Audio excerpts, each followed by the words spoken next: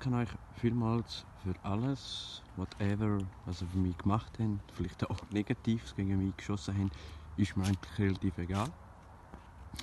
Äh, ja, was ich mit dem bezwecken will, mit dem Video und alles, ist einfach, ja, ich lebe meine Kunst, es ist meine Freiheit, wenn ich eine Kamera in der Hand habe, dann fühle ich es und wünsche euch alles Gute, Gute und frohe Festtage für 2019.